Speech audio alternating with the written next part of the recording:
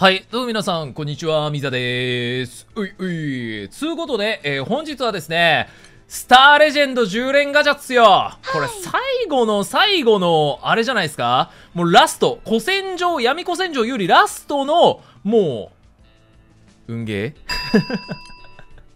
じゃないですか？提供割合が、えー、こちら、闇属性かなり多いですね。バジラ、ユエソシ、マナマル、ボーマン、アズサ、マギサ、イルザ、サンドリオン、サンドリオンということで、まあ今回に関してはやっぱりイルザじゃないですか？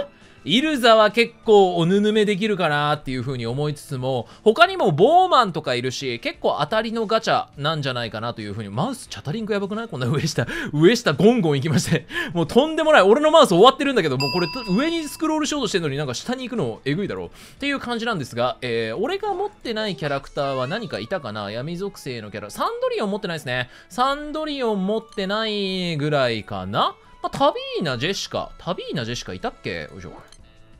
タビーナ・ジェシカいましたっけね？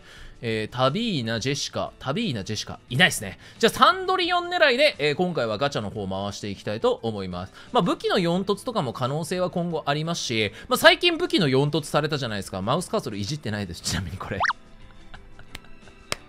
暴れすぎまあ、武器の4突とかもね、最近はなんか優秀なやつが増えてきたので、まあそのあたりで言うと季節限定の武器とか来ても美味しいかなっていう風に思います。はい。ほな、えー、回していきましょうか。えー、スターレジェンドガチャセット、よろしくお願いします。いくぞーはい。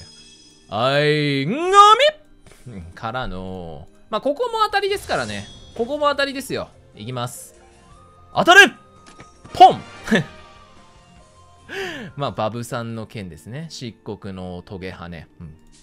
じゃあ、ここから SS レア確定ガチャ回していきましょう。対戦よろしくお願いします。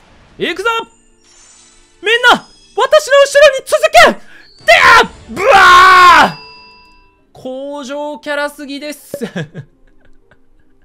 ゆえそしですね。ゆえそしの武器か。無双治癒出直してきてくれ